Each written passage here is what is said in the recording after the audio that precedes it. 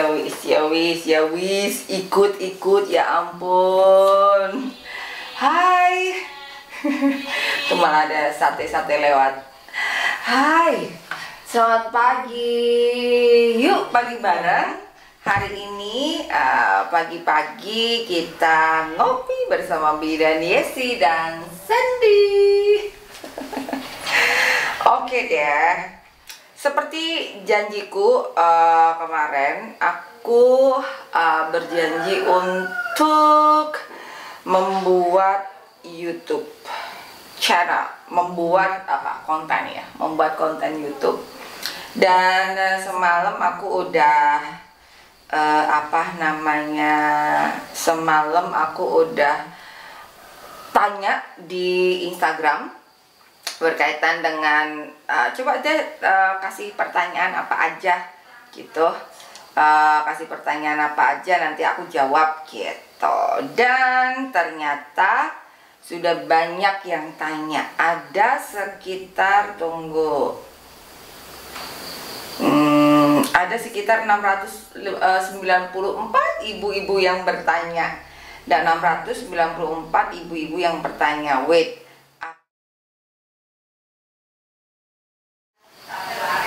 dia.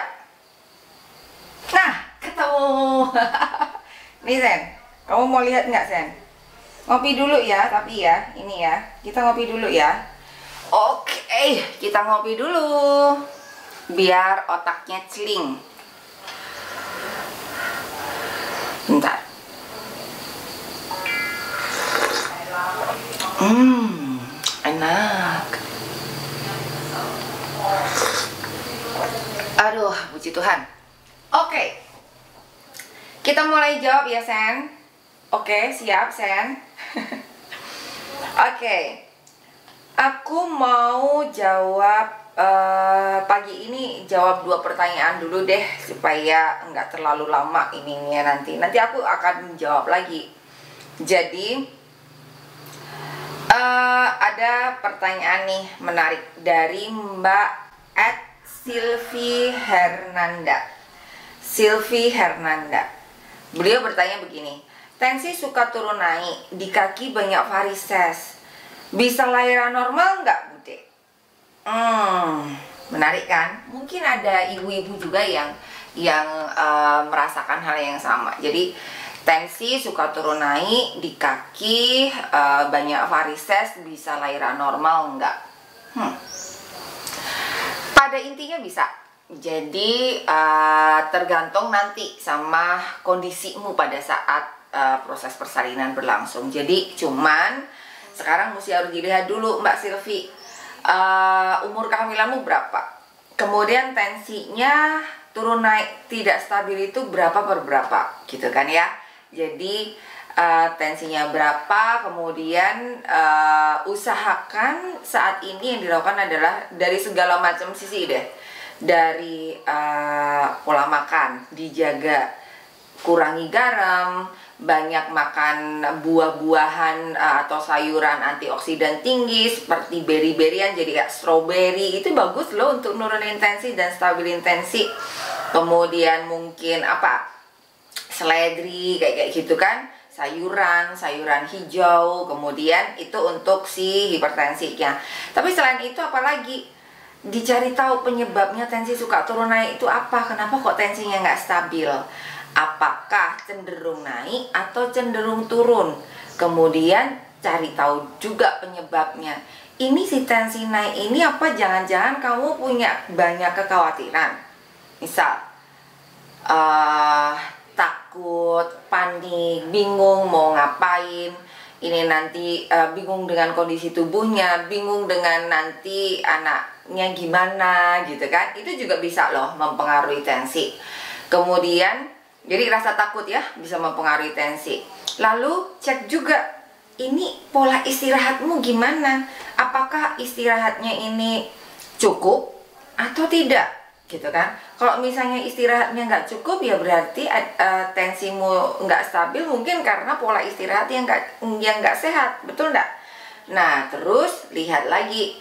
Harus di uh, kontrol dipantau di tenaga kesehatan terdekat kan ya? Dipantau di tenaga kesehatan terdekat Mbak Silvi Hernanda. Habis itu terus rajin juga latihan nafas gitu kan? Meditasi kemudian relaksasi karena meditasi relaksasi latihan nafas itu terbukti secara bukti ilmiah pun udah banyak banget uh, sharing bahwa uh, membuktikan bukan sharing ya membuktikan bahwa itu semua bisa menstabilkan tekanan darah. Nah, sedangkan di sini pertanyaan yang kedua adalah di kaki banyak varises bisa melahirkan normal nggak? Di kaki banyak varises. Lihat dulu uh, varisesnya seperti apa, gitu kan? Um, apakah varisesnya sangat-sangat parah atau tidak? Kemudian dilihat juga itu kaki varises, vagina varises nggak? Ada varisesnya sampai vagina nggak? Kalau cuma kaki sih nggak masalah, gitu kan? Tapi kalau sampai vaginanya ada varisesnya di jalan lahirnya ada varisesnya atau bahkan mungkin kalau rahim ada varises memang ada beberapa kasus yang rahim ada varises tapi agak susah untuk melihat ada varises di rahimnya apa enggak. Nah, terus bisa lahir normal enggak? Mulai nih berarti tetap bisa hanya coba cek juga nih si varises ini supaya nggak parah gimana kan gitu betul enggak berarti harus rajin yoga balik lagi relaksasi, meditasi, nafas, olahraga, yoga kayak gitu. Gitu ya Mbak Silvi. Oke, pertanyaan yang kedua. Nah, ini pertanyaan yang hampir mirip nih dengan pertanyaan yang Mbak Silvi. Yang kedua adalah nih dari Mbak Mary Kristiani.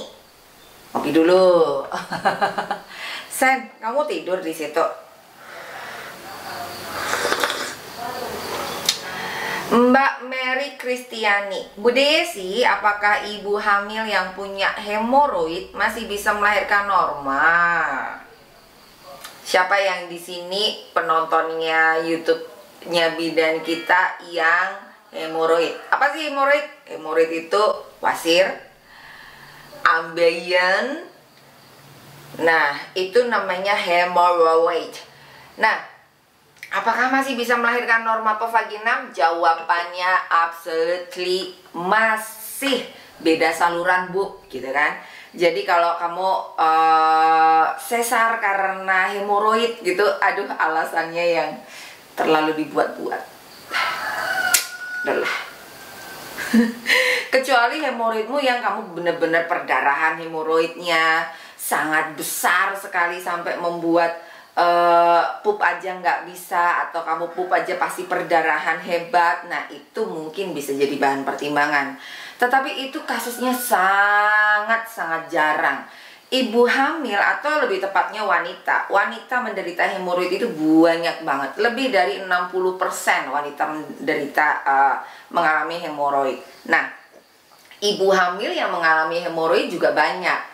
Kenapa kok bisa mengalami hemoroid? Karena uh, kan tekanannya banyak tuh uh, di area perut tuh banyak kemudian habis itu menekan pembuluh darah vena tuh di area sini.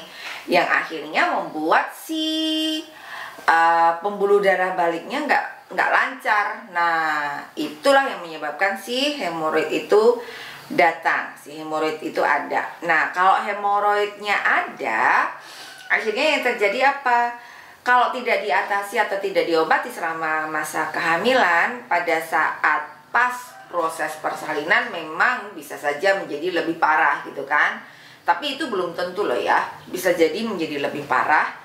Dan bisa jadi after after melahirkannya malah uh, lebih sakit hemoroidnya dibanding dibanding uh, proses persalinannya gitu kan. Tapi itu pun juga sangat jarang sekali. Jadi kalau aku sih bilang um, bisa nggak melahirkan normal dengan hemoroid? Tetap bisa. Upayakan dulu saat ini jangan sampai si hemoroid itu menjadi lebih parah gitu kan. Jadi minum banyak, rehidrasi cukup. Kemudian apa lagi? Lalu uh, yoga itu sangat bantu banget. Obatin tentu dengan resep dokter lah atau dengan resep bidan lah atau uh, banyak makan makanan serat nah makanan serat makanan yang banyak seratnya itu juga itu juga penting banget so intinya hemoroid bisa melahirkan normal per vaginam.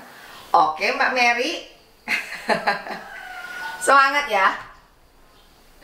Oke, mungkin itu dulu dua pertanyaan. Nanti aku jawab lagi. Uh, aku buka lagi di yang um, channel yang lain untuk dua pertanyaan biar nggak bosan.